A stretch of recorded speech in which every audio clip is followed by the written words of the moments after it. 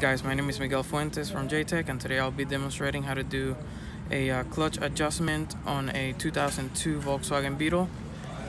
And as you guys can see, this pedal is not um, adjustable.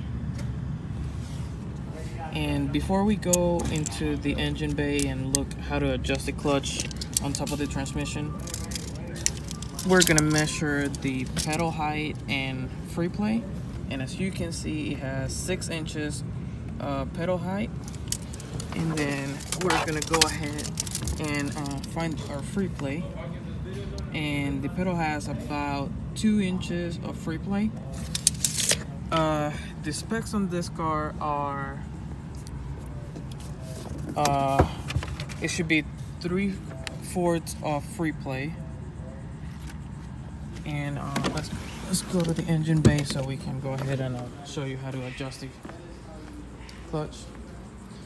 So here on the en engine bay um, here is the transmission. And these are the shift linkages for side to side and back and forth. And the way we do that is you retrieve the spring and twist it so you can adjust the um, the shift uh, cable. And the way you want to do that is pull it enough to have um, the specs of the pedal inside. And then after you do that on both cables the one from back and forth and side to side you'll go ahead and untwist it so it locks it in place. And that's how you'll be able to have your uh, clutch adjusted the right way thank you for tuning in.